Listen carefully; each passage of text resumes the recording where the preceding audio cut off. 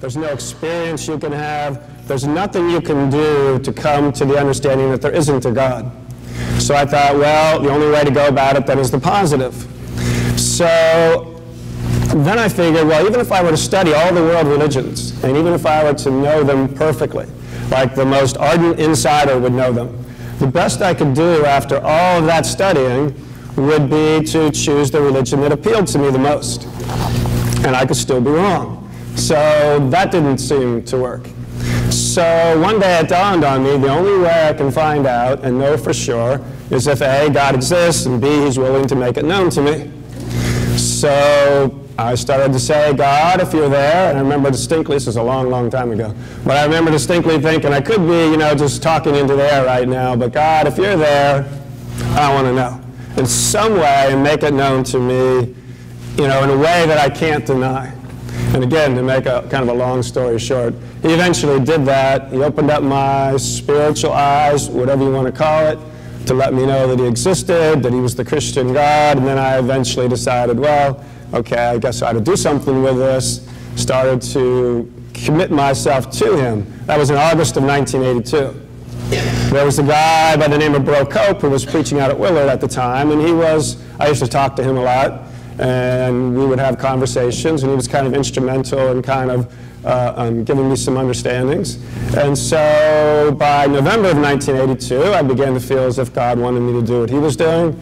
So November of 1982, stepped out there knowing virtually nothing about Christianity, kind of learned in the fire, so to speak, and have been doing it ever since. And now here we are.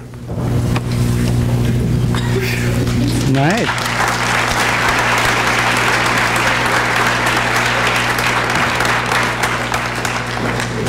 Um, so I, I have a I suppose, a fairly similar story. I mean, and that's similar in a way. I mean, a searching story. So I grew up in a in a in a religious home that was religious by just kind of doing what we needed to do, what we were supposed to do. We went to church.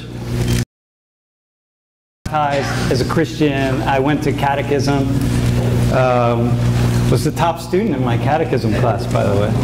Uh, and and I, I, was like the worst student in school, but the top student in catechism, go figure.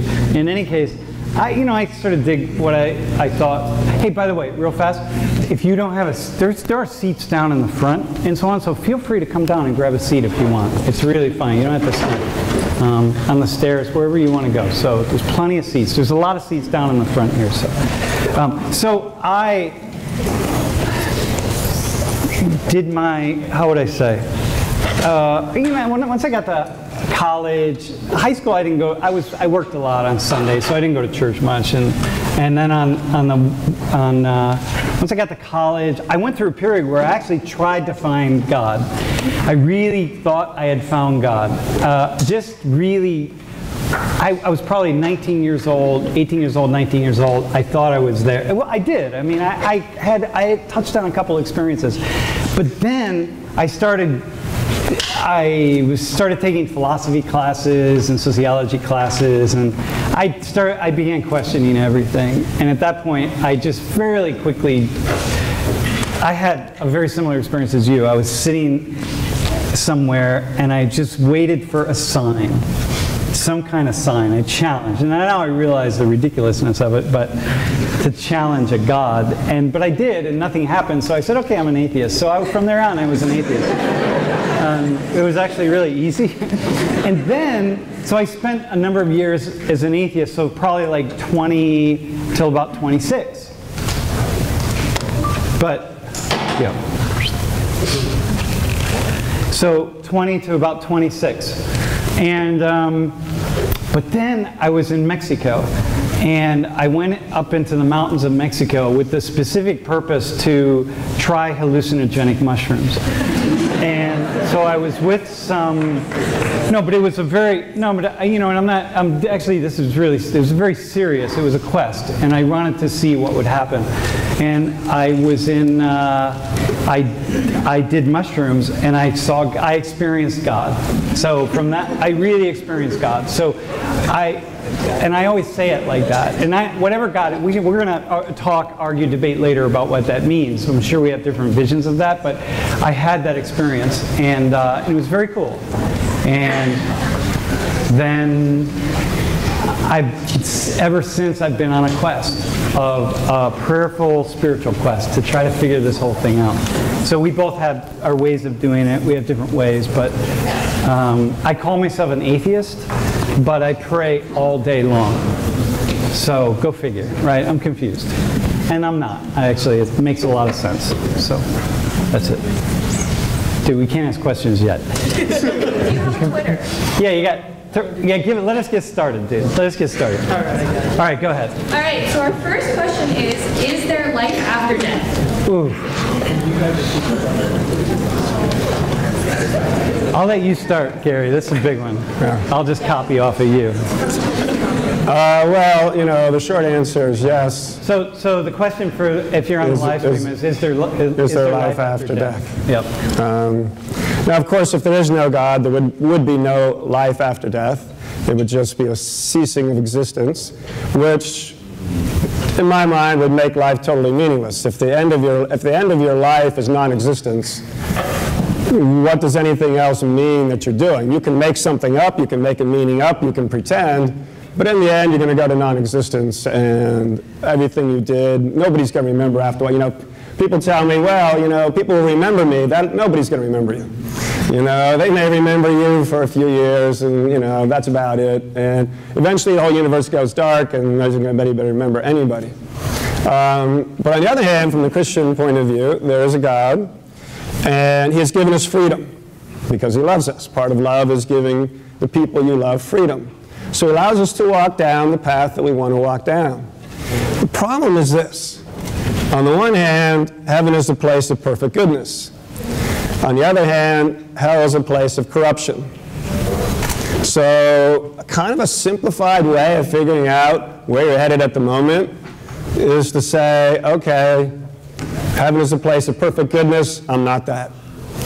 Hell is a place of corruption, I am that. You can't make yourself good enough to get into heaven.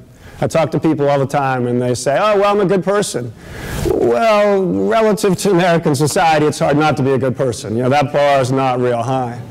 Um, you know, but relative to heaven, that perfect goodness of heaven, that bar is a little bit higher. So another thing people tell me is, well, you really can't know who God is. So that's a problem because it takes God to get you to that place of perfect goodness.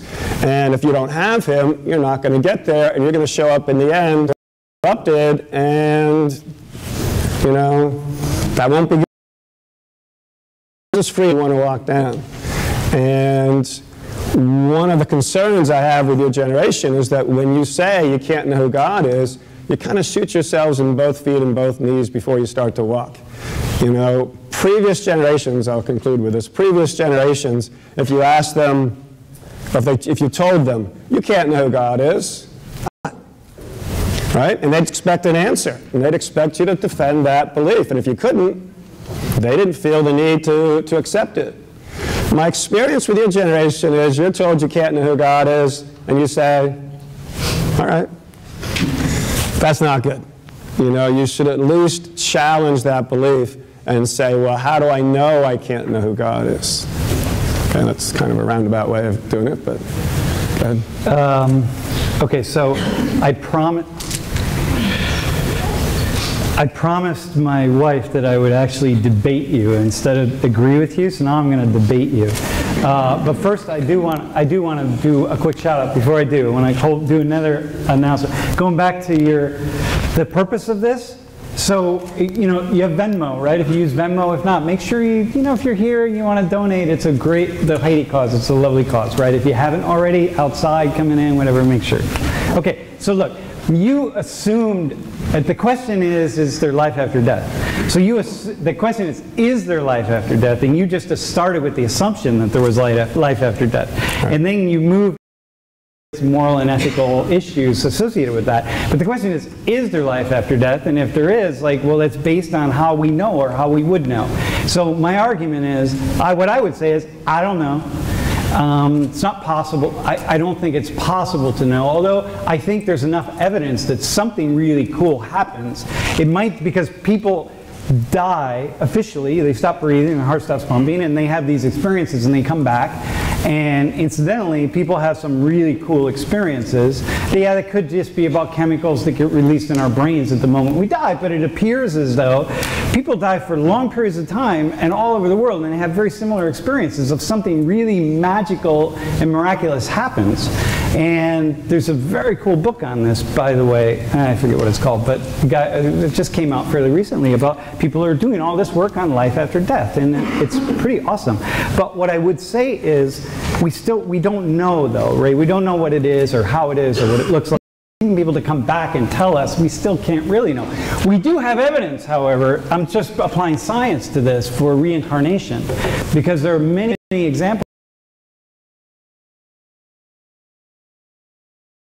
Research on this that of children who as soon as they begin communicating, as soon as they're born, they start communicating that they are in the wrong body, that they're with the wrong family. You know, questions like, where's my mother? Where's my father? You're not my father. You know, Gary. Like, who's Gary? You're not my, you know, like, where's my dog? I, you know, my, my incarnation, they get shut down. Little kids, they just think, oh, my kid's saying all these really crazy things. But in cultures that are more open to this, people then pull this out of children. And so there are a lot of people using science, like the scientific method, meaning that as soon as somebody reports their child starts talking about past experiences, they've isolated that child. So they're not watching television, not listening to records, not talking to people. You really need to isolate them so they're not infected, infected, right, I could say, and that's not the best word, but influenced by uh, information around them. And so then they start getting, you know, getting note-taking, find out everything they could possibly know about this child. And they very often, very often, regularly, I mean, you know, you can do the work on this, find that, yes, this person, they said their name was, their mother's name was Anna and their father's name was Sam and they, they had a dog named Spot. And yes, and 40 years ago, and they lived in a big blue house by a lake, and 40 years ago down the road or wherever, I mean, it's all different. knowing any of that information. And so we, we have evidence based on the scientific method that, yeah, there appear, reincarnation appears to happen. But be, you know, dying and going to some heaven, that we don't have any evidence for. I don't think you need evidence because you just need faith. But, uh, but that's my long-winded answer for do I believe in life after death?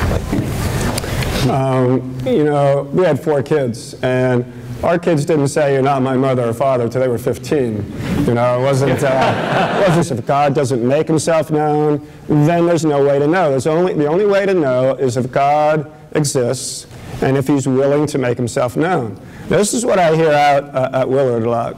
The same people that will tell me you can't know who God is will also tell me that this God, whom we can't know who he is, loves us. Now, the obvious contradiction there is if you can't know who God is, how do you know that he loves you? But the less obvious one is love is a relational word. When you love somebody, you want relationship with them. So as soon as you say that God exists, and as soon as you say that he loves us, you are by default saying that he wants relationship with us. All right? Problem is, is that if he wants relationship with us and we don't have relationship with him, then it has to be our fault. And we don't want it to be our fault. We always want it to be God's fault. All the way back to Adam and Eve, they blamed God, they blamed each other, they blamed the devil. They did everything but take responsibility for themselves. Now, some people will say, but if God wants to, know, wants to be known, if he wants relationship with us, he would just do it. I mean, he's God, he can do whatever he wants. But another aspect of love, again, is when you love somebody, you allow them to be free. That's why we don't think stalking is an act of love. You're not actually allowing the person to be free. God allows us to be free.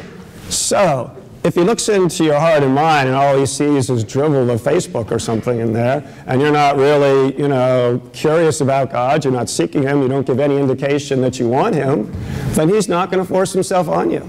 You know, he's going to let you go. He's not. In short, the only way that we can say that we can't know if there's an afterlife is if either there is no God or there is a God and he's not willing to be known. Problem is, if you ask yourself the question, how do I know God can't be known?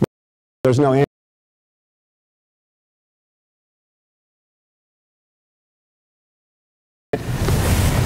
Can, can, can I make up my own question? Wait, what's your next question? No, it's unrelated. It was your gut. You, you, I'm good? Look, okay. I actually want to dig into this. You know, you're talking about, you're talking using pronouns,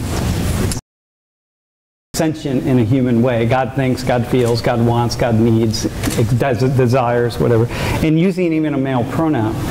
And I, I find that even to postulate a God to me, a God, postulating a God, and then using, pro, using A pronouns that we use for the masculine and feminine, and B, giving that God characteristics of, that I have, seems really immensely anthropomorphic. And from my perspective uh, of wanting to know, really wanting to know, being a seeker, also very, uh, yeah, just not something that I like. I was, I was trying to debate actually. I almost said short-sighted, but uh, no, but I, I, res I, I, respect it, but it, it doesn't do it for me because when I start talking about God like I talk about this person here or this person here, it then I'm I'm, I, then I know I've created God in my image.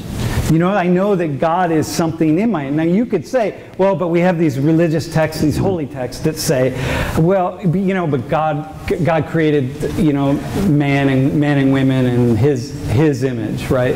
But I'm like, well, the human beings wrote those books. They're doing the same thing that everybody else is doing, right? So for me, the quest to, to, for me god is you know god is a principle right? It's an, it's an eternal principle. It's not a being it's not something i could ever tangibly understand. It's a concept right? And i say it not he not she. The moment i say he or she it changes everything. And what i, I would challenge everyone for example spend the next week doing nothing more than referring to god using the female pronoun do nothing more than to use she and her every time you think or talk about God. And just see what that does to the way you understand God. And I think it you will find it actually has a fairly profound impact. And, and, and very profound, actually. And then by doing that, you begin to understand. Like, if you spent tomorrow, for example, did nothing but refer to God as a she, just see what students do.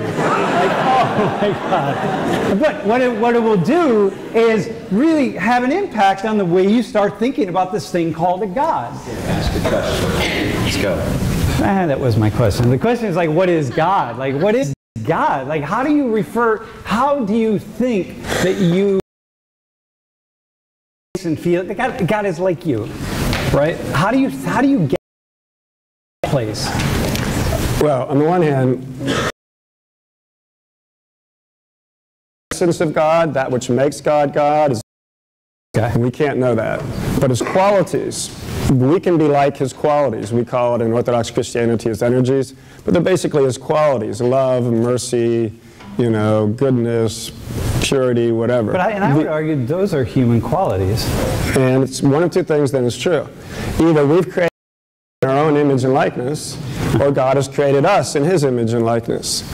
So, yes, they are human qualities because God created us to partake not his essence, not that which makes God God, but of his, of his likeness. And so, and, and we do that by partaking of his energies. We, we have the great privilege of being like God by partaking of God. And you just have to make the distinction between his essence and his energies or his qualities. Mm-hmm. So we have been made to be God-like, right? And now look at us.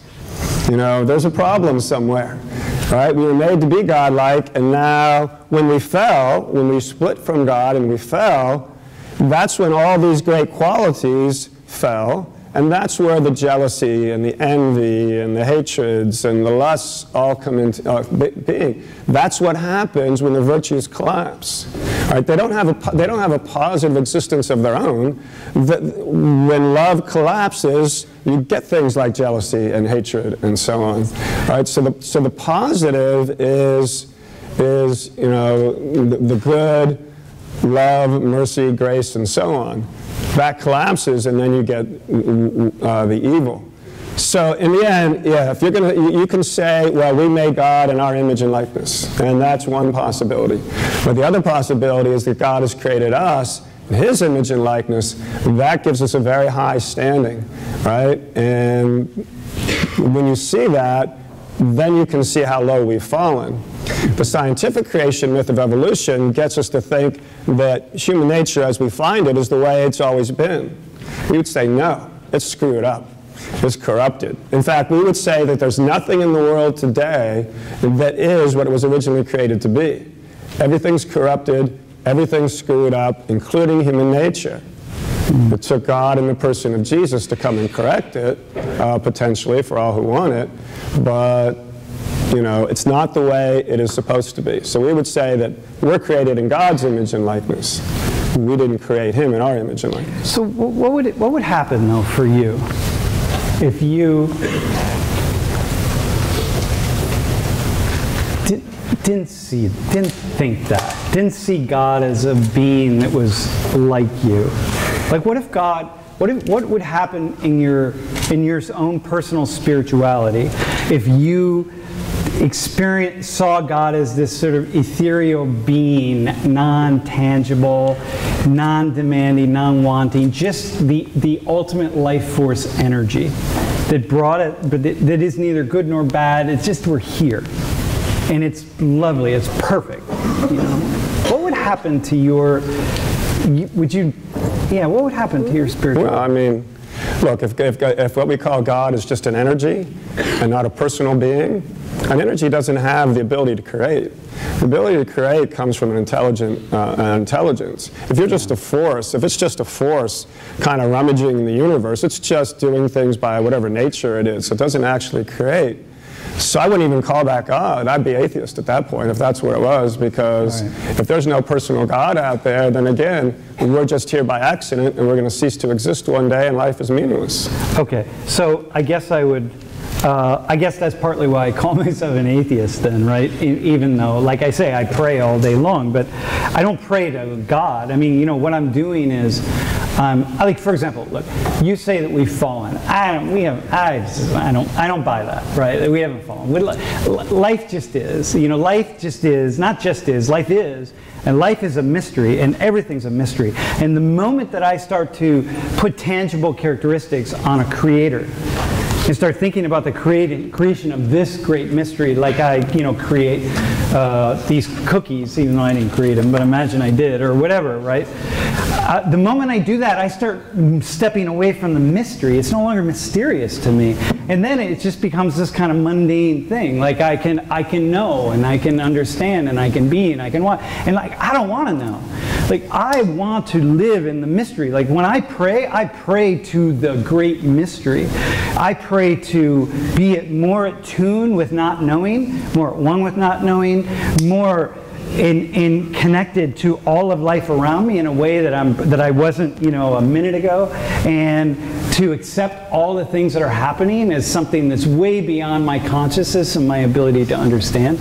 And to me, that is the highest point of God. And by the way, I can't believe in a God because you say, well, if God didn't create us, um, or God had to create us. I'm not sure what he said, but I'm like, well, who created God? You know, like that's the stumbling point. That's the thing that that's the great mystery point that I can't get past. If there's a God that came into being, and you know, the Christian message or the Muslim, the Abrahamic tradition will say, and so will the Buddhist, by the way, that God just has always been and always will be.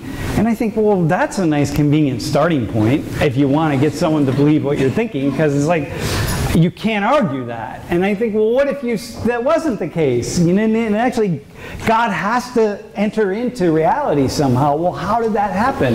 And that's the mystery. And me living with that mystery is the thing that keeps me going, keeps me waking up every day, and keeps me wanting to just know and know and know more. So I don't know. Yeah, where did God? Who created God, by the way? Look at there. Sam, that's your last question. All right, all right, all right. Sorry, yeah, I gotta get that. Okay, respond in 30 seconds. Um, on the one hand, um, if you start with nothing, you're always going to have nothing. If, if you have, if you truly have nothing, sometimes scientists say something can come from nothing, but they're really starting with energy. They're not starting really with nothing. But if you truly start with nothing, you're always going to have nothing. So that's why no matter what you believe, something has to be eternal. And I think for the scientists, it's some form of energy, and for us, it's God. But something has to be eternal. Now, as far as mystery is concerned, that's a big thing in the Orthodox Church. Mystery is a big thing in the Orthodox Church. Yeah. We don't say because we know some things, we know everything.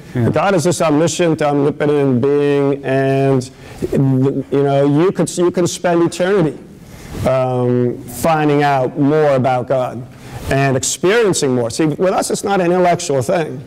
I mean, there's the intellectual part; it's given to us, but it's an experiential thing. We're expected to experience God, and the more purified you become, the more you can experience God. And where we get our understandings from God is not from some intellectual theologian who's got a PhD, but from people who have experienced God. And then they pass that down, and then, you know, and, and a bunch of them have, and they're all consistent in, in what they say. So just because you know something, doesn't mean you know everything. And just because you know something doesn't mean there's no mystery. So if you want to live in the mystery, that doesn't mean you have to block God out and say, well, you know, God can't be known because I want a mystery. Mm-hmm. Sometimes, and I'm not accusing you of this, although it's going to seem that way, sometimes that's just kind of a way of saying, well, I want to do every, anything I want, I don't want God getting in the way. So I'm going to keep him out, out, out, out, out there somewhere in this mysterious realm, and therefore he won't bother me. My idea was I want God to bother me. You know, I want to know who He is. I want to experience Him. And when and, and God oftentimes, when He reveals things to you, you don't like it because He reveals the things that are wrong with you. But He does it in order to take care of it, to purify you. So. Okay, All right, we're switching gears. all right, all right. The next question is, do you believe that homosexuality is something you are born with or is it a choice? Oh my God. Can we, can we dispense of this, we can do this one pretty quickly, right? Yes. All right. Do you want to go first and I'll just respond? I think we, you've talked about this enough. You can do yours pretty fast. All right. Uh, personally, I, I don't believe someone's born homosexual, but on the other hand, I don't think it matters. Because the idea is homosexuals are born this way, therefore their behavior must be right, because they're born that way.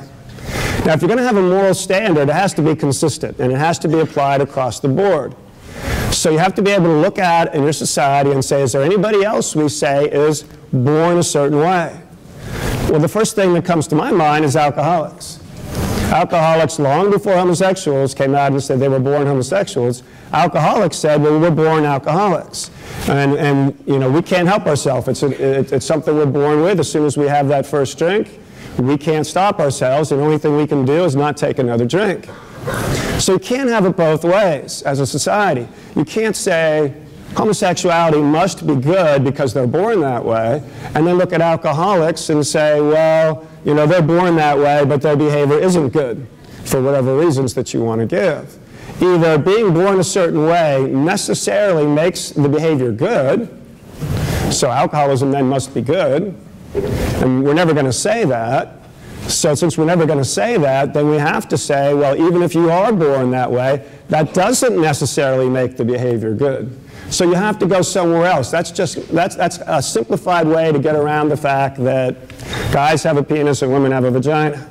You know, and that's the way it works. Sperm is to create life. It belongs in one place after it comes out of the penis, and that's in the vagina. There's nowhere else in the world where that sperm belongs. All right? It seems pretty self-evident. But if you want to promote homosexuality, you can't live this idea of they're born that way, therefore the behavior must be good. And all I'm saying is, if you're going to say that, then be consistent with it and do it across the board for everybody, every malady that society says people are born with. All right. Women also have a clitoris. I just want to point that out. So, it's not, it's not all about the penis, y'all, right? It's about the clitoris. That's my wife speaking there, so just want. Uh, okay, so look, I, one, one thing, okay, now I'm, I'm going to be, I'm going to be, I'm going to not debate and then I'm going to debate, okay? Uh, I, one thing that I always tell my, my students is that I appreciate you because you don't single out any of the sins in your religion, right, Christianity.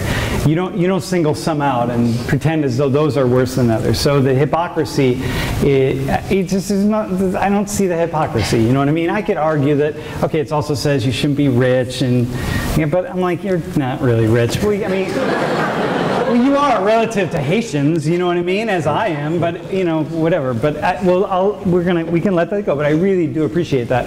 However, because I don't, I, I don't see the text, I'm a sociologist, so I can't just buy into this text as though these things are inherently sinful when there's no reason for them to be sinful, other than the fact that some people decided that they were.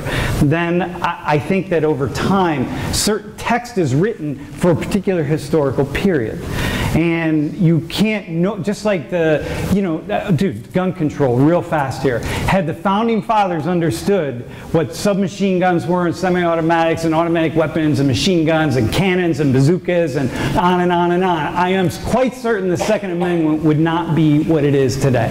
That's just a given. Nobody had any idea. So i think the same is true with when we look at the sins right? So we see some of these sins punishable by death which are pretty hard hardcore that like, come on, that's not so bad. Um, the, the, the, text is written for historical periods, so I have no reason in the world to think that or to claim make the claim that homosexuality is is a problem or is sinful. I mean i don't know. Okay so but that's not the question. The question are, are people born gay? Uh, um, I'm not even sure what gay is. I think that sexuality exists on a spectrum. I think most of us are really bisexual, and in the right situations, we can feel this or we can feel that. And if you don't really believe me on that, just check out some gay porn. and those of you who are straight, and just see if you start to get that feeling down below.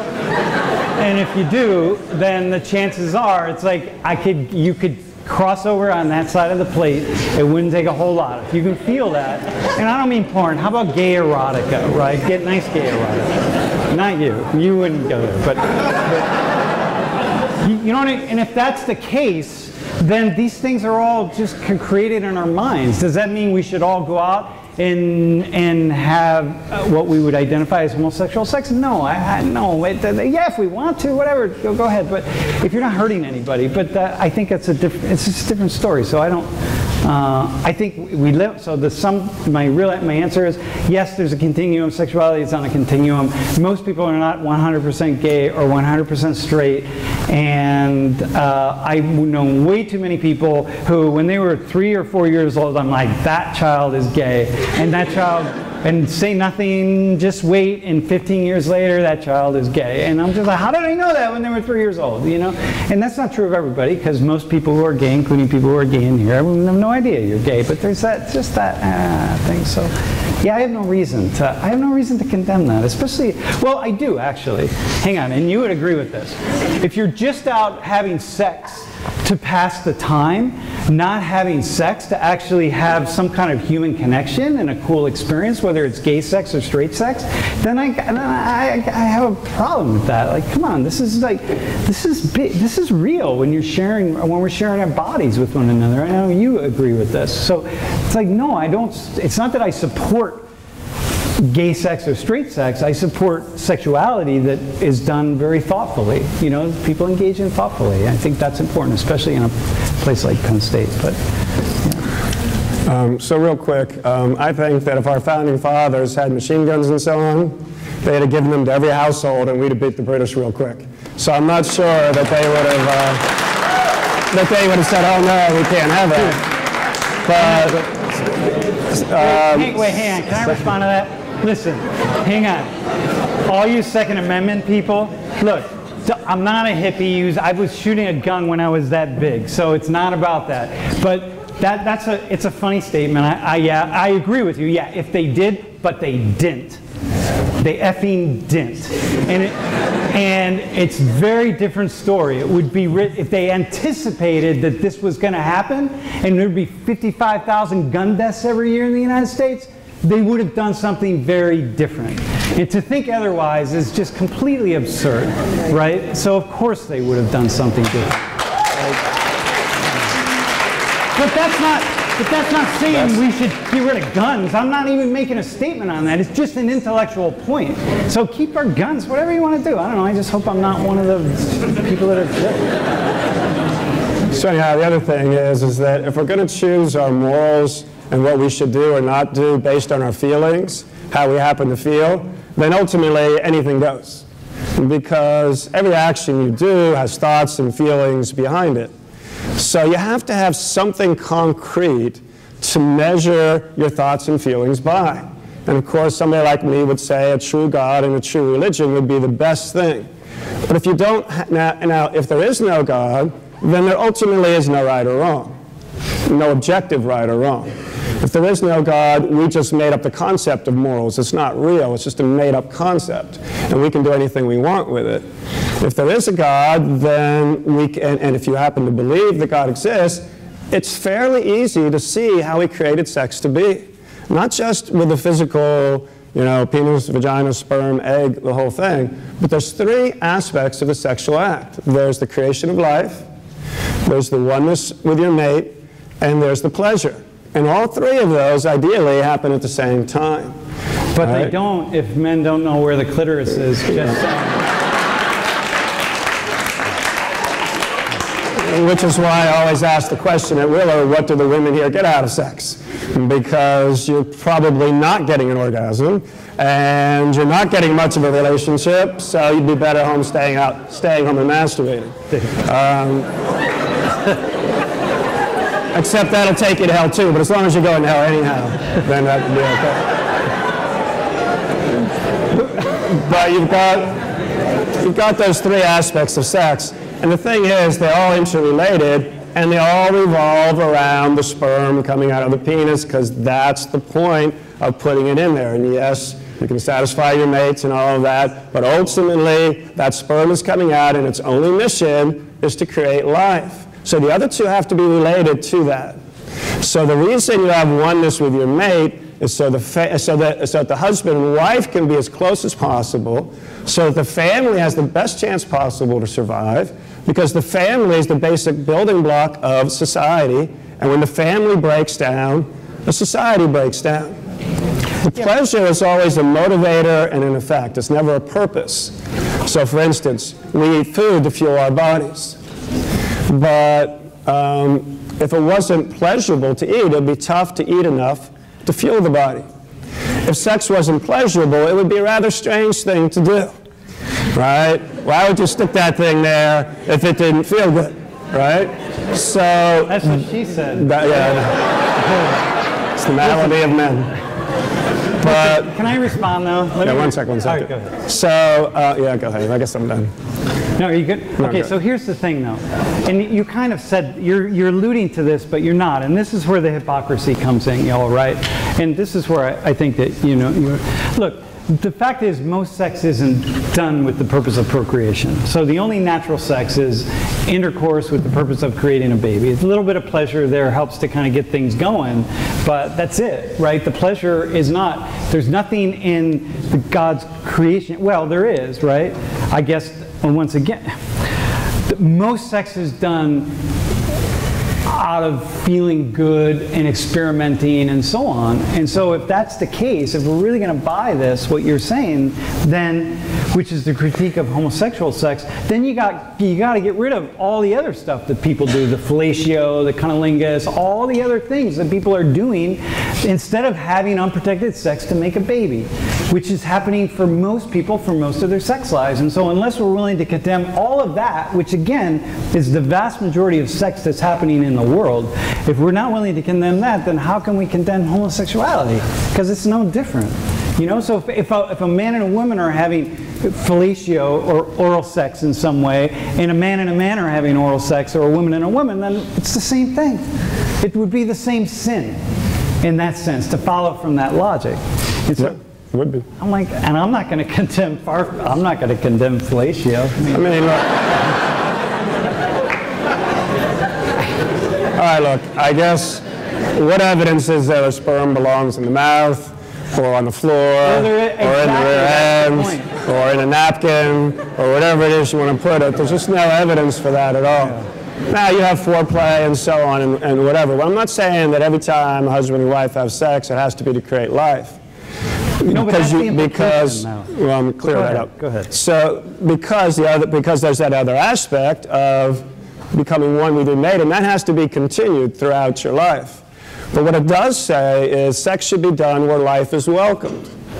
You know, I think that's pretty self-evident. And when you have it outside of that, that's when you get into, you know, oral sex and all this sort of stuff, because life isn't welcome for some reason um, when and where you are doing it. Uh, and and we, I think we have a problem with that in America today. We value a lot of things more than we value uh, children right? So we value having a bigger home and nicer cars and better things, and kids get in the way of that, you know? You have three, four, five kids, and it's difficult. And we don't want to be difficult. We want to have a good time. We want to spend our money. We want to spend it on ourselves. And, you know, with that sort of attitude, that's where you get this whole thing of, you know, only you know, having sex in all these different ways that clearly it's not made to have. Now, again, if there's no God, if God hasn't revealed himself, then it really doesn't matter what you do. yeah. But if God, if there is a God and he has revealed himself, it's obvious how he's made it to be, and, um, and, and it works fine. And if everybody would do it that way, you wouldn't have all the problems of abortion, you wouldn't have all the problems that we have today, sexual diseases and all these things, because people decide we know better, we can do it the way we want, and all these problems come from it. Okay, let me just respond to something really quick, and I know you have a question. You, you mentioned this before, and I wanted to respond. Uh, that God, that if, if we don't have morality of God, then society falls apart. And I think the research is pretty clear that that doesn't seem to be the case. That people who don't believe in God are as follow have a more a stringent, in fact, set of moral principles than people who most believe in God.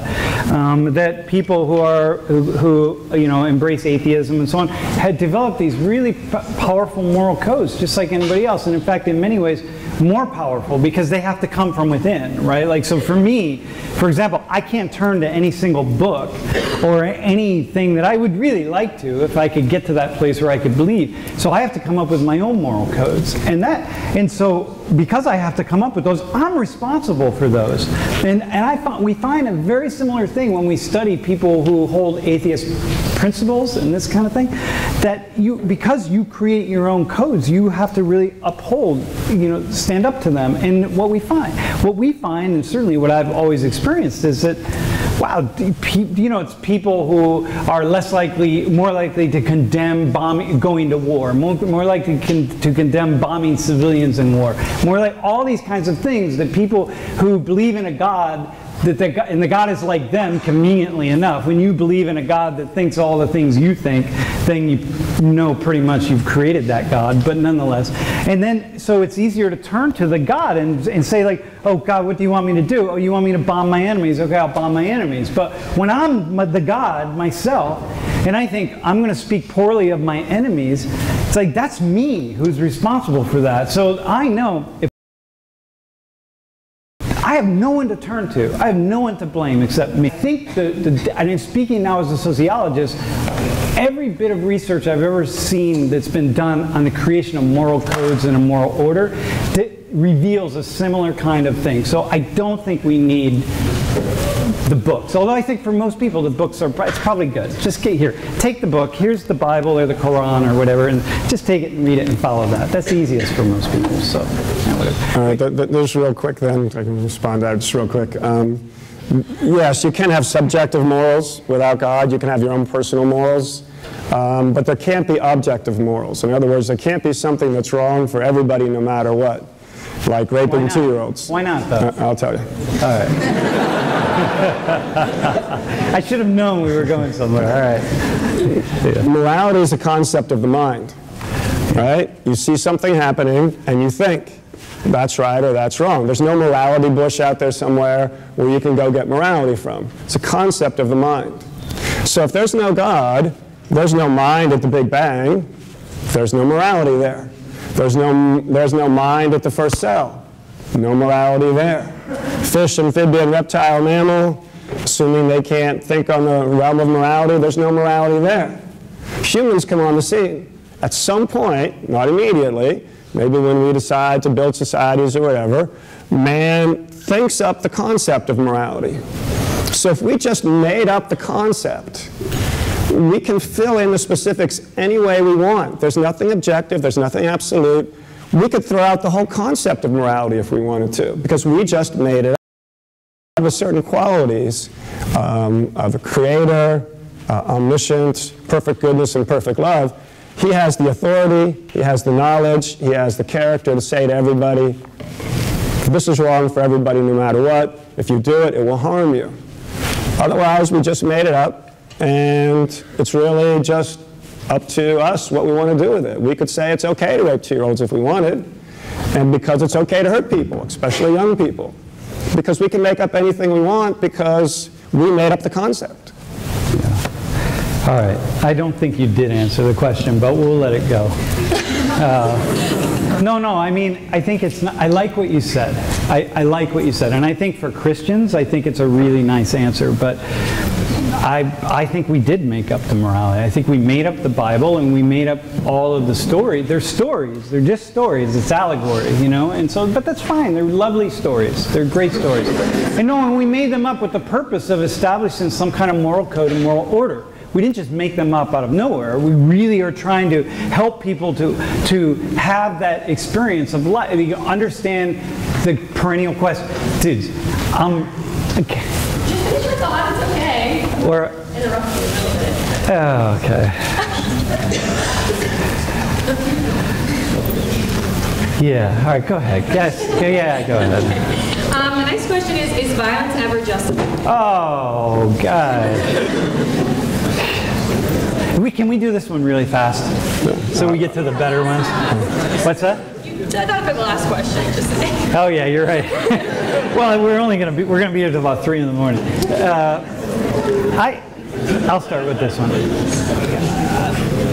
Yeah, yes, because I don't know how to judge.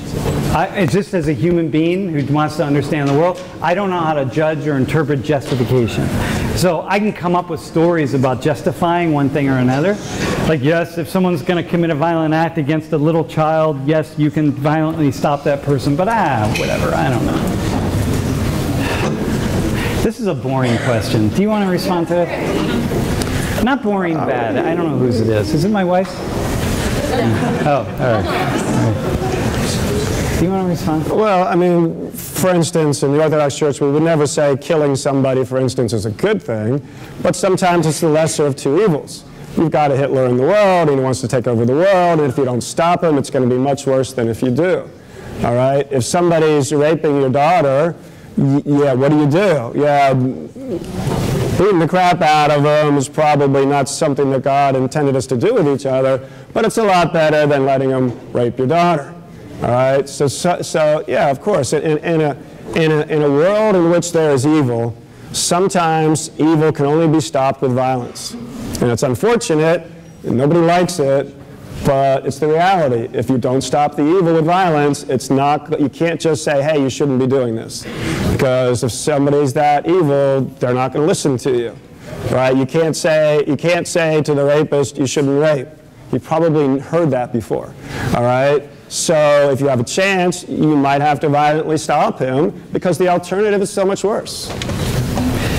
Okay, I guess I'm, I'm just going to do a really quick Yeah, response. Um, I think tho- those are those are clear examples where yeah, violence would seem necessary, right? Tho- And they're in some ways. But what I'd like to do is go to the normal middle area where it's a violence that isn't the extreme. You know, we don't bring up somebody like Hitler or Stalin or ISIS or the CIA operating somewhere. We mean we should what we should do is really think about more the middle ground and the violence that we do on a regular basis that we don't necessarily see.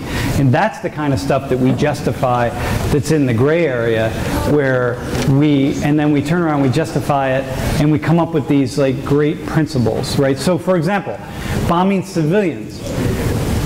Why is it possible that Christians and those Christians who are the strong Christians are more likely to believe that it's okay to bomb civilians and kill civilians to get what you want than, than it is for than atheists are to believe that. Like how is that? Well, I mean, I- I'm not going to say that it's okay to go out and target civilians, and I'm not sure too many people would. But on the other hand, if you fight a war, it's inevitable that innocent people are going to die. So you either have to say you can't fight a war, or you have to say we're not going to target uh, innocent people, but we can't promise that innocent person isn't going to be in the wrong place at the wrong time. So, so then my next question is, well, how is it then that Christians, the, you know, are more likely to believe that it's okay to sell weapons of war to countries that can't afford them and countries that we know will use them on their own people than it is for atheists? And I know these are data that I know from Pew polls. Like, how is that? Who are the Christians that are thinking that that's okay? You know, why is that? So where does that come in Christian mentality? And I'm only using Christians here. By the way, Christians are much more likely to believe that it's okay to bomb civilians, kill civilians than Muslims are. So, you know, just want to throw that turd in the punch bowl for a second for some of you. But the idea is, how is it even possible that that's okay? Whereas my team, the atheists, are more likely to say, no, you can't sell those weapons out there like that. You can't do that. That's immoral. It's wrong. It's like, in Christian belief and Christian doctrine that says it's good to bomb civilians because you don't like civilians, all right?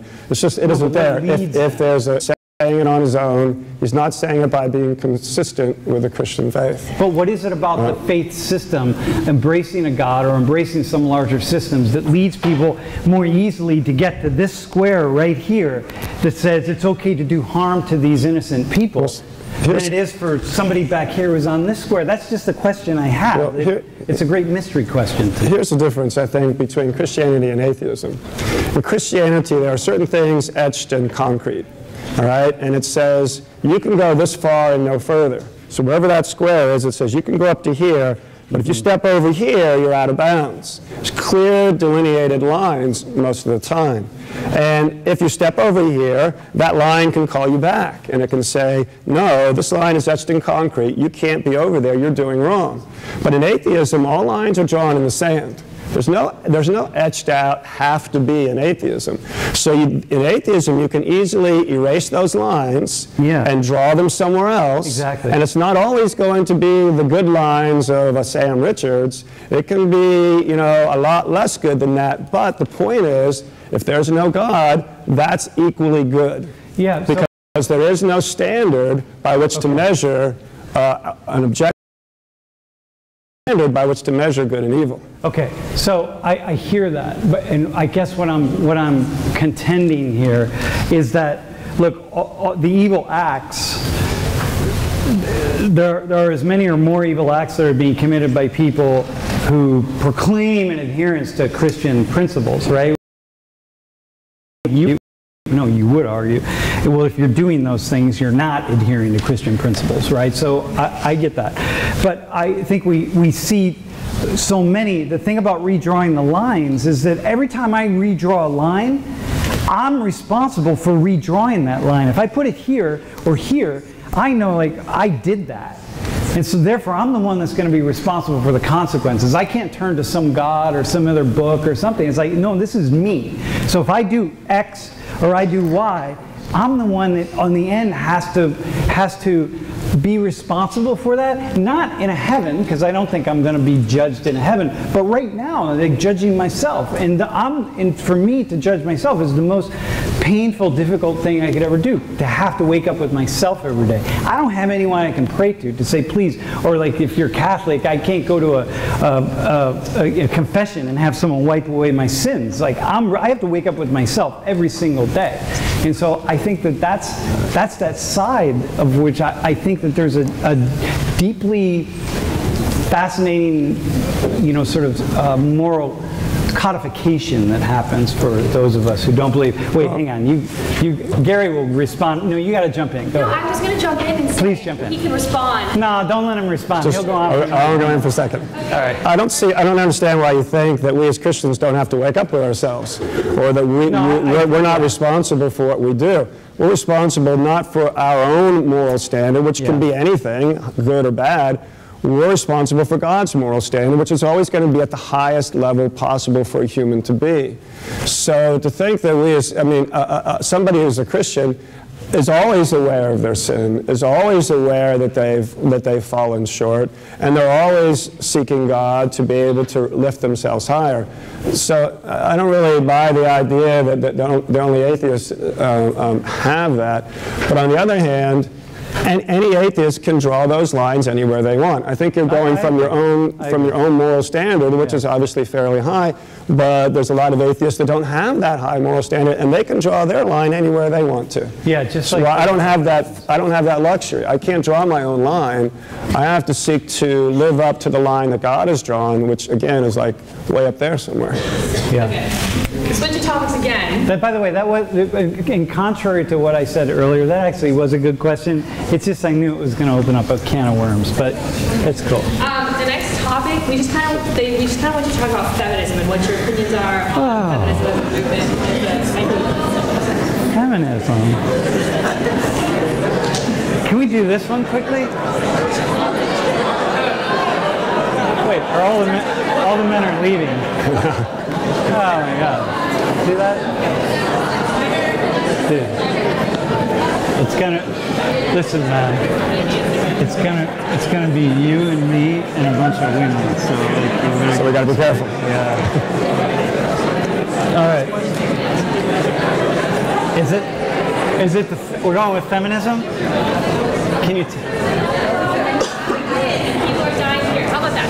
Okay, if you guys don't like the feminist topic, which I can't tell if that was like a good uproar or a bad one, is there any topic that we haven't hit on that you're dying to hear about? We want feminist. Okay, we'll do feminist, then we'll open it up for somebody to like suggest one let's after. do it fast though. We'll do it really fast. Okay, I'll start. Uh,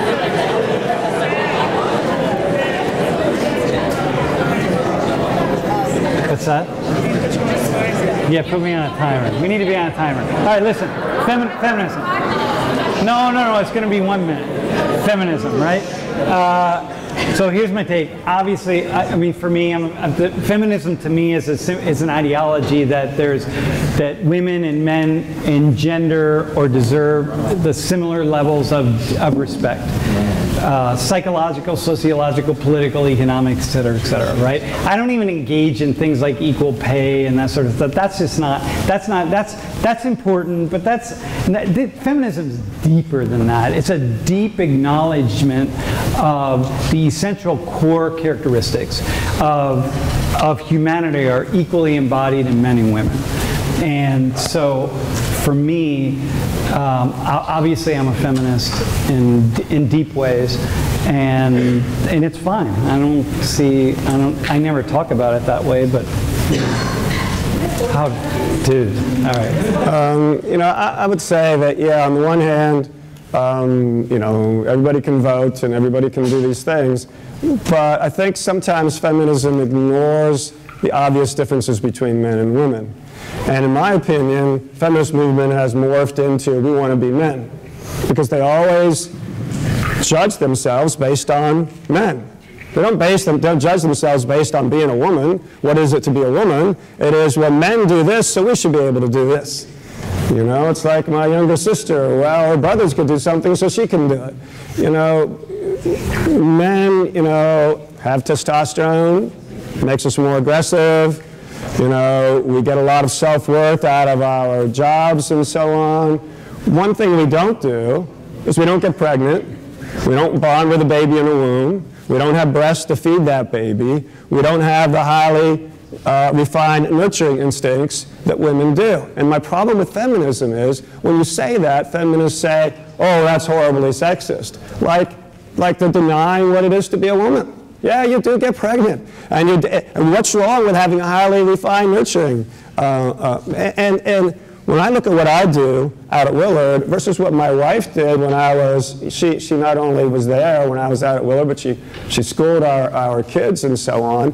And my youngest son graduated Edinboro with a 4.0, and my daughter graduated here with a 3.99, so she did a pretty good job. But that's the highest job ever.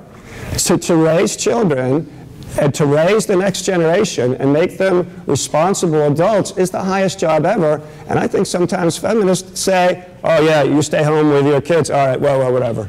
This one has a job.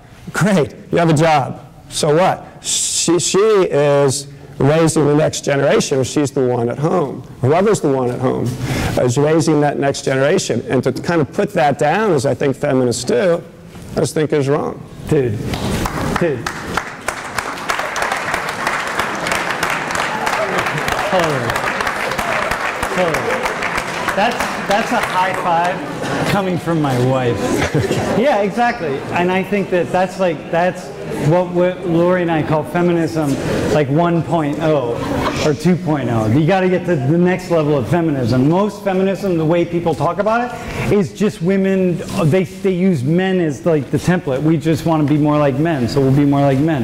That's why it's like, no, man, no, no, no. You want to have this deep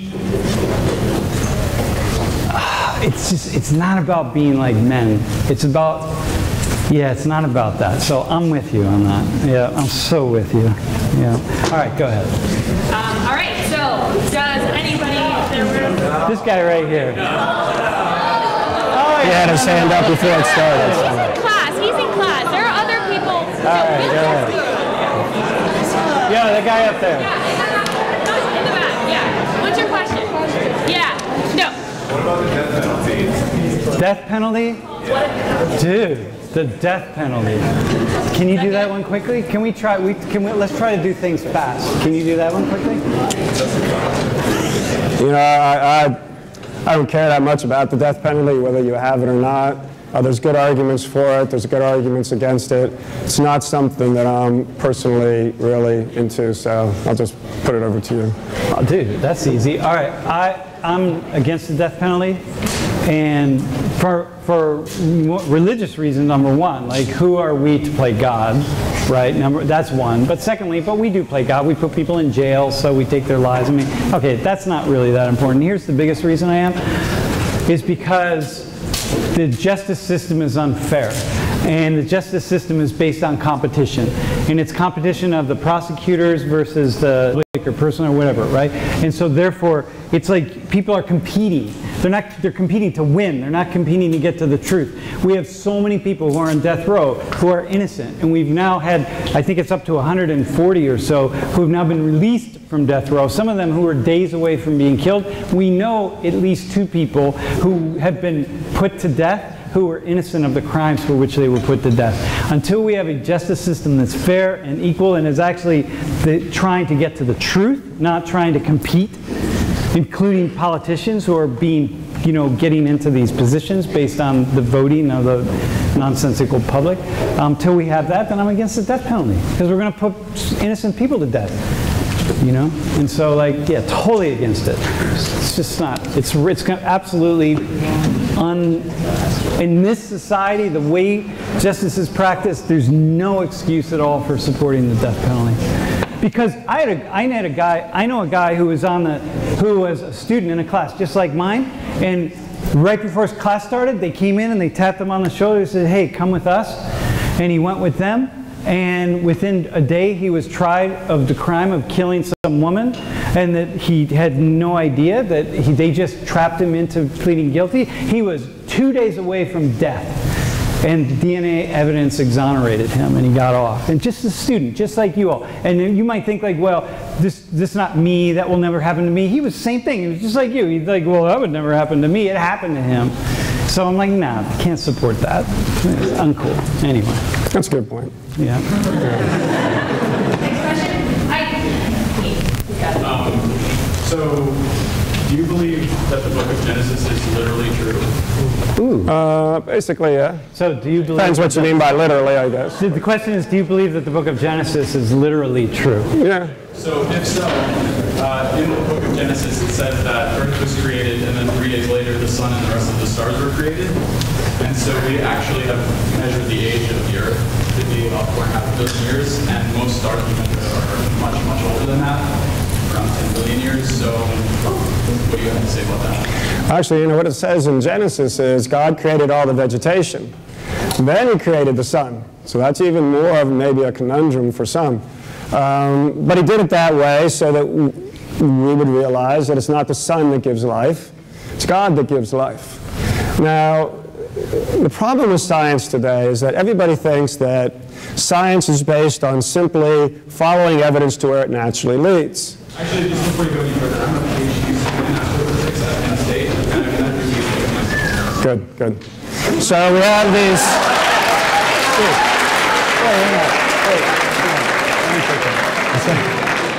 But dude, hang on though. I know. So what you said was, for those of you if you're watching, uh, he's, you're a PhD student in astrophysics at Penn State, right?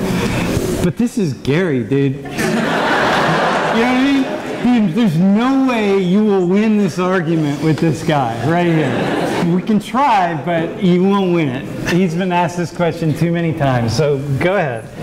Keep it short though. All right, just in general, we, we, we believe that science is all about just following evidence where it naturally leads. And so if there's a consensus of the scientists about something, we can trust it because they're just following evidence.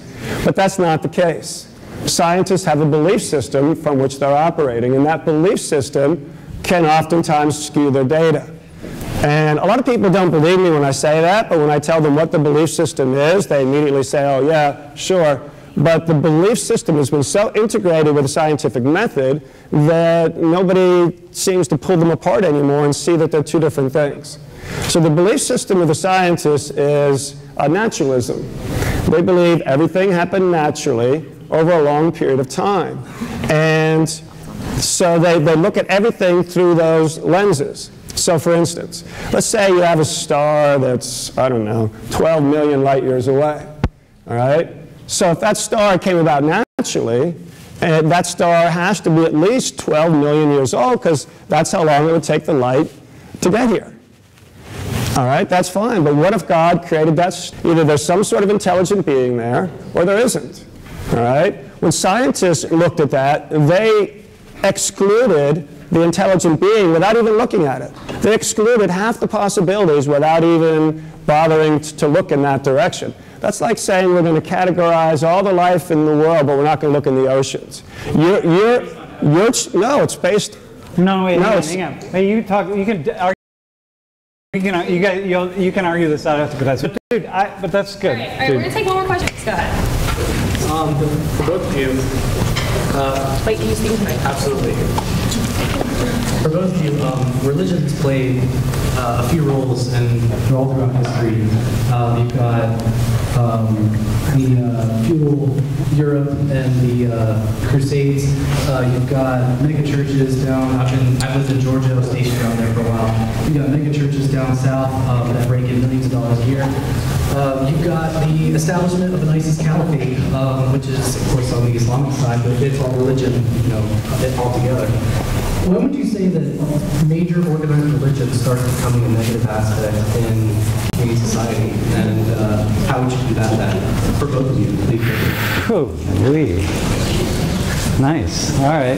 How would we say that major organized religion becomes like sort of a negative thing, right? A negative contribution to society. When does it start to make that transition? When does it make the transition from just something where people are, where, where people are, look, religion exists in my humble opinion, since I don't know, but I am a sociologist, so I have some, I, am allowed to have an opinion on the origin of religion and the reasons for it. I think that it, religions come together because people collectively identify they, they collectively share ideas about the perennial questions where we came from, what we're doing here, where we're going. And when they share their answers to those questions, and the, their answers are satisfying to enough people, more people join in, and suddenly that small religious group becomes a larger group and larger and larger. And then in order for that thing to sustain itself, that organization, it has to have rituals, it has to have things that people do on a fairly regular basis, right? And then that becomes organized religion. That's the origin of how we see religions going from small, some tiny cult to some larger thing, which is what happened with Christianity, in my humble opinion, and Islam, and so on. But um, the problem is when the religion goes, it's just like a, it's just like a, a, a, a business when it goes from something, or some other organization, when it goes from something that just is a really a lovely place for people to come together and, and express themselves and learn more about themselves and about life in general, to something that has to be sustained. Like, for example, you know, you go, I have this, we have this organization, and we hang out together, but now suddenly we want to have our own place. And so we go buy it, and so we take a mortgage, and now we got to collect money because we've got to pay the mortgage, and we got to have insurance, and we have the this, and then we start growing, and we have to have bigger, and suddenly we have to, have to, have to. Then there are all these other forces that come into play that get in the way of what is just a natural coming together to respond to questions that we have. And that's what happens to all religions. And when they grow large enough, they grow beyond the capacity of people to really respond morally and ethically to the issues that really affected them.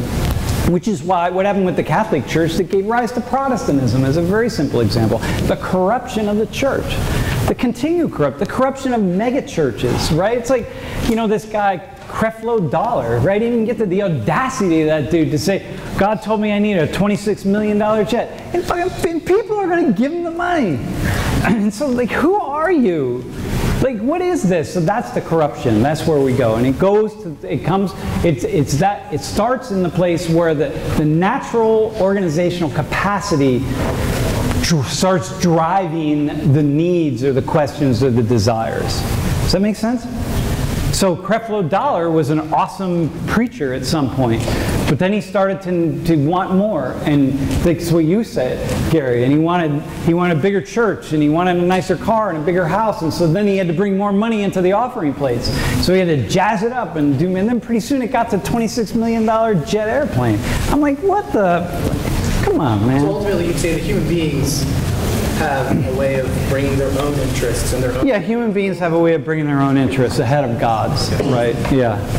Which is why you know you're just on the steps of Willard. You don't have a church. You don't look at look how you're dressed. You know, you're not you're not trying to impress anybody. You know what I mean? You're just there. Like, you know, we call Willard the free speech ghetto. You know, when you when you can't do anything else, you just stand on the street and yell at people. But you know, I, I, would say something, something similar to what Sam said, at least with Christianity. The problem is when people leave Christianity or when they Americanize Christianity, when they, when they, when they go from, like, you know, Jesus said, not just love your neighbor, but love your enemy. You know, do good to those who hate you. Do good to those who despitefully use you. Um, that's, not, that's not something that if you follow it, it is going to cause a lot of problems. All right, but what happens is people sometimes conflate culture with religion. And before you know it, it's not Christianity anymore. It's some sort of Americanized form of Christianity. So you get somebody like, you know, Creflo Dollar who says, hey, if you, if you give, you know, God wants to prosper you. God wants to give you lots of money. So you give me lots of money, and then God will give you lots of money. And so he's got this huge congregation that gives him lots of money and says, see, it works. I've got a plane, I've got a mansion, I've got a Rolls Royce or whatever. But he's got 10,000 people giving him money, right? And they don't have anybody giving them money. So they, they end up staying poor. It doesn't work for them, but he keeps jazzing it up and saying, just keep doing it. You know, you got to have faith. If it's not working for you, you don't have faith. So people have personal agendas. people conflate culture with religion, um, and they just get off, off the mark. Uh, my guess is that there's a lot of Muslims would say that ISIS is off the mark, right? Um, so I think if you what, you, what you have to do is you have to look at the religion and then judge what people are doing based on what the religion tells them to do. The mistake we make is we look at somebody, look at somebody who claims to be Christian and they're out there getting drunk and getting laid and doing all this stuff. We say, oh, well, if that's what Christianity's like, why do I want that? I can do that on my own. But you don't judge Christianity based on that person's actions. You judge their actions based on Christianity. And if Christianity condemns their actions, so you don't, you don't judge, the, you don't judge Christianity based on Catholic priests, you know, molesting boys.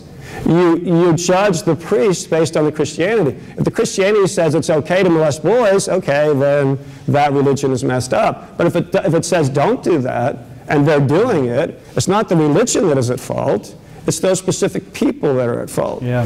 But we tend to conflate the two. We tend to judge the religion based on what people do. Hey, by the way, those of you who are, you know, critique Christianity or Islam or religion or whatever, what Gary just said is really important to remember. Because I think a lot of times many of us want to just sort of point our fingers at religious people, and then we pick out the ones that are like Creflo Dollar. He's low-hanging fruit who's you know really a jerk, in my humble opinion. Uh, and then we say like, okay, and then it makes it easy, so everybody's like that. It's like, no, that makes it really simple. What about the, the 99% in the middle? Percent of Muslims do condemn ISIS, so I just want to be clear there. So it's like, but we can just pick ISIS out. Condemn not even Muslims, but they're not Muslims any more than Hitler was a Christian, so anyway. But that's a very cool answer for the flirting with atheism and so on. Yeah. All right. Last question? We're going to back to my question, but we came up with one and we wanted to ask. We just want your opinions on the current status of Greek life at Penn State. Uh, well, we know Gary's. I'll, I'll answer for Gary. He, by the way, are we going to finish at 8:30? Are we going to be out? Sure. We'll try to be out at 8:30. How do you all want to leave, or do you want to keep going? All right, listen. Greek life. Do you want to? Can you do that really fast? I can do it really fast. Well, I mean, I think maybe fraternities when they first started out was a good idea, and maybe they still do good things. But when it devolves into just getting drunk and getting laid and abusing women and whatever it is they're doing, then obviously it's got off its original thing and needs to get back. The problem is when you go to them and you say, well, let's stop the drunkenness for a while, they can't even do that. Right. You know, so, you know, it's hard to respect the whole system when you've got a month where you're not supposed to be getting drunk in your house. You can go out to the bars and get drunk. You know, you can even get drunk in your house, just don't have a big party, and they can't even manage to do that. So I think they need to get back to the original point of what they were doing, which is basically going out and, and being a brotherhood and doing good to the community. Um, you know, the community gets upset with things that, with the students because the students trash the community, right? Getting drunk, stumbling down the street, using up hospital beds, you know, and so on. If you could curtail that and not go in that direction so much, number one, I think fraternities and sororities get back to the original thing, they could be fine. And number two, you wouldn't have such maybe difficult relationships with the community. I'll 100% agree with that. I will argue, though, for those of you, you who are in fraternities and sororities, I do recognize that there are positive things that happen. But the, but the negative things outweigh the positive. That's, yeah. You do THON, and that's a great thing, and that happens. I know you're working on it all year long, but it, but it happens to the public one weekend. What the public sees all year round, though, Yeah. is the destruction and the partying and all Yeah. that sort of stuff. Yeah, and if you can't even not drink for, look, first off, if you can't even not drink for a week, that's really a problem. really, just a single week. Like, come on. That's, I'll just leave it at that, that. All right, who's got a question? Do you want to open it up? You got it. Um, going all the way back to the beginning, um, You mean to Genesis? to that guy? Look, look, All right, back to the beginning. um, wouldn't applying tangibility and and I guess human form to God, creating him in our image or whatever, wouldn't that also imply that there's limitations and failures from that? And if you're actually doing that, sure. If you're actually creating God image, we are, we are failed human beings, we are flawed human beings, and that God would have that same flaw. In, in, in Orthodox Christianity, number one, the but number two, his attributes are knowable. The love, kindness, the grace, the goodness, the justice, and so on, those are knowable. Now with God, those are perfect. They're beyond perfect. With us, they're flawed. So in Christianity, that's why we come to God so that He can re, He can kind of remake us back into His likeness, so that eventually we will be able to reflect those qualities of God in, in a, in a human way, but a perfect way, not in the flawed way that we're, we're, we're reflecting them now. So wouldn't that creation of us be a failure from that God? Well, no, because um, when God originally created us, He created us in His image and likeness, but we weren't perfected in it. We could still lose it. And what we were supposed to do was walk with God, and He was going to take us along, and we were going to follow Him, and eventually we would get to the place where we were fully like God, meaning we couldn't, we couldn't lose it. But because He wanted us to reach to the heights of goodness and the heights of love, He had to give us freedom.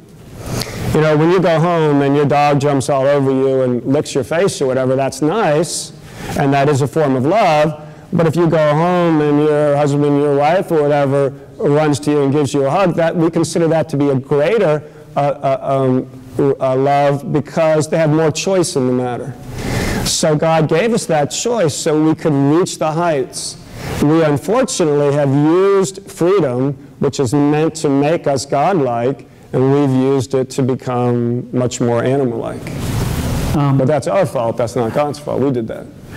I, I just have to say, for the record, I have no idea what you're talking about. Like I, like I, I appreciate it from within your paradigm.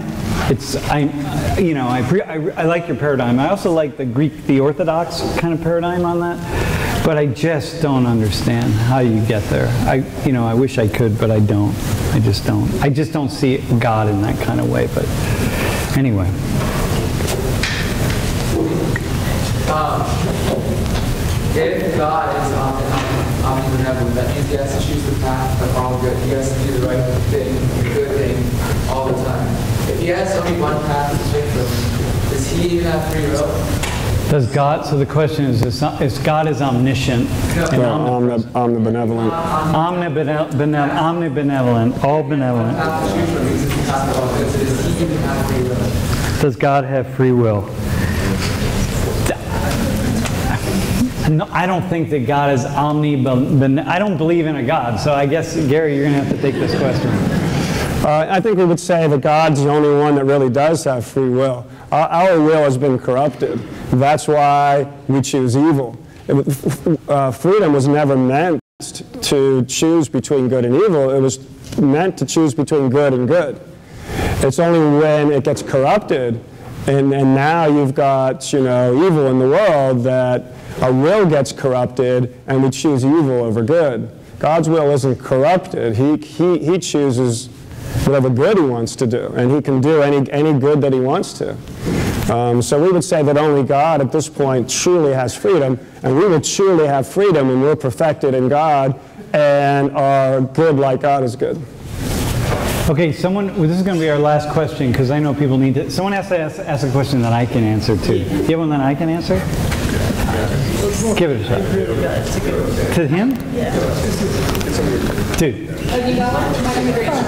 You got one? Do you have one? Yeah, so if, yeah. yeah. No, go ahead, dude. Okay. Green guy. So if life is found on other planets for both of you, would that reaffirm your individual beliefs or would that cause you question? Dude, nice question. If life is found on other planets, would that reaffirm our individual beliefs or lead us to really question or doubt? Well, for me, I believe there's life on other planets, not a question. So, uh, it just affirms what I think, which is the cosmos itself is the great mystery.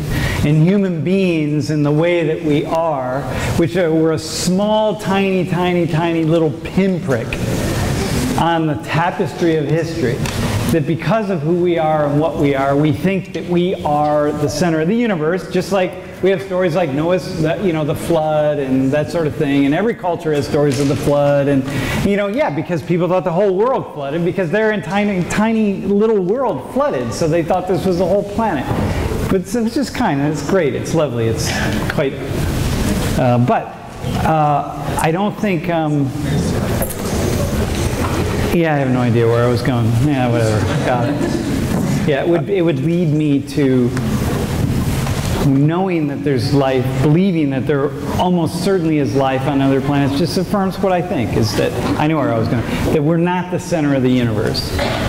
That we're just a piece of a, of a very complex fabric of a cosmic life that is existing in this vast, vast, vast universe that we now know, thanks to the astrophysicists, is just massive and expanding beyond anything we could ever imagine. So could the cosmos be God? The, the life form, in my, if I had to say it in English, in linear terms, now, if I was on mushrooms, I could probably act it out. But next time we debate, that'll be the next one, all right? The great cosmic mushroom debate. But if I have to explain it in linear language, um, yeah. What was your question? Am I on mushrooms? Could the cosmos be Could the God? cosmos be God? Yeah, if I have to explain it in linear language, that's exactly how I see God, it's just the energy. Yeah. Uh, real quick, one of the differences between Sam and, and me is that when I was young and did mushrooms, I didn't believe anything that was happening. I think Sam believed too much of what was happening. Um, but yeah, if there's life on other planets, we would say God created it. I mean, there's nothing in Christianity that says there can't be life on other planets. It's just that this is made for us on this planet. So if God created life on other planets, you know, fine. Yeah, that's a cool, I like that answer. That's pretty cool. Yeah, God created it. But what would it do with Genesis, though? Like, what would it do with the story? Well, Does it change it or not? No, because the story is about the creation of the universe and the creation of, and if, then it focuses down on, on Earth. It doesn't really say anything about if God did anything on any, any other planet or not. It's not concerned with that because we're here, and it's concerned Okay, with, got you. with oh, All right, us. that's pretty cool. I like that. All right. Are we, are we, listen, we can still take questions, but if you want to ask questions, but, Feel free to come up and talk to us at the end, but it's the end of the formal things. Thank you guys all for coming. Please yeah, thanks.